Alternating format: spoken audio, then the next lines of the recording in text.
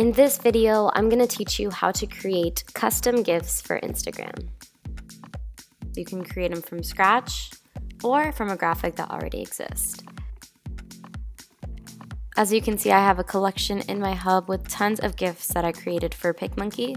I'm going to walk you through the steps on how to make them and how to make them searchable on Instagram. I'm going to start off by creating a blank canvas and I'm just going to use the default size. Once my canvas is opened up, I'm going to head to the graphics on the left and there's tons to pick from and that you can work with, but for now I'm going to be using social media callouts. You can find them under the social media tab.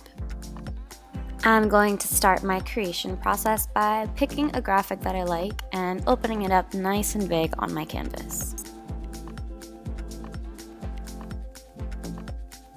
Since I'll be creating a set of GIFs, I want to keep them all consistent as far as colors go. So what I'm going to do now is open up a couple of circle solid graphics and make a little color palette. This part is completely optional. I like to customize my colors, but if you're happy with the ones you see, you can leave them. Working with a palette is great because you can move it around and remove it from your canvas and it's like it was never there. Every graphic in PicMonkey allows you to adjust the colors, so you can bring in your palette and use the color picker to select the color you want to replace it with. I'm going to quickly speed through this process so we can get on with the GIF making. Alright, GIF making tip number one. You don't want to have a GIF with a white background, so make sure to head to Edits, Background Color, and check off Transparent. GIF making tip number two is to create multiple images. GIFs are all about stitching multiple images together to create an animation.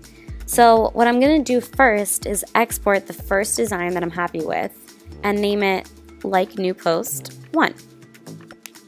Once I've exported that, I'm off to a good start. Now I'm going to make some adjustments to create my animation.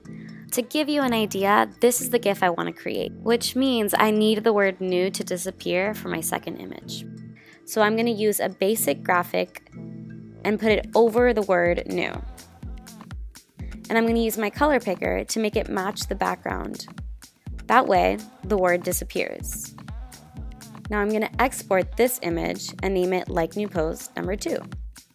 Now you have the two images that are going to make up your GIF. Next up, you need a GIF maker. It could be a video software that stitches your images together or a free website like gifmaker.me. For this example, I'm going to be heading to that website and uploading my images there. I like using this website for GIF making because it's pretty simple. You upload your images that you made in PicMonkey, then you can adjust the canvas size and the animation speed, then you just download your GIF. Now let's talk about how to get this GIF on Instagram.